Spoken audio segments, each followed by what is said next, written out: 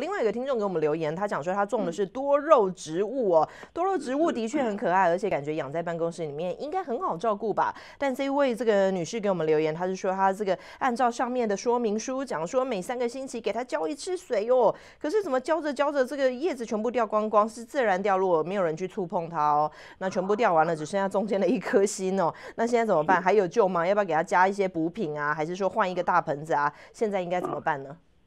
每三个星期浇水一次，哎，也许可以。但是如果说碰到像今天我们这边会到八十六度，哎呃九十度这种天气的话，你三个礼拜浇一次，可能就。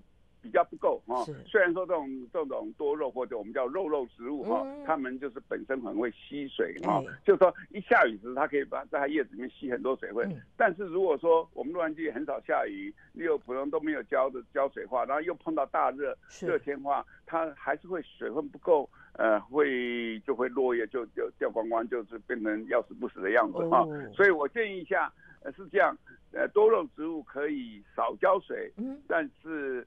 呃，如果气温到八九十度，呃，至少每个礼拜还浇一次。它还是需要水，不是说不要水就 呃就不浇水哈。那基本上肉植物生命力很强，我家里随便种随便长，呃，而且长得很好，而且从来也不必给它特别施肥哦，你不要。水分太多，他也不喜欢。如果天天下雨，他他就也也不会好。但是我相信这位听众朋友说问题，他他三个礼拜浇一次，我觉得可能少了一点。如果是在一般的呃冬天的天天气，或者是在阴凉的树下面，那三个礼拜浇一次还可以。那像我呢，每天我叫每天浇菜浇花的时候，我经过时就撒一点撒一点啊，那这一点点不要很多，但是至少要给它还是要有点水分。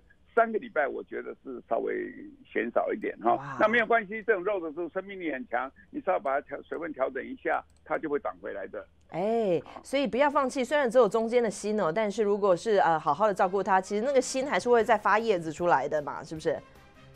啊，对对对对对，它会长叶，它它生命力很强，甚至叶子插在地上都会变成一棵树，都很容易的。是的，是的，我这个小时候种过很多落地生根哦，所有掉下来的这个呃肥肥的那个肉，继续再把它放进去，它还是继续再长出来。好的，好的，再次感谢我们的这个园艺达人，我们的花博士，谢谢。拜拜。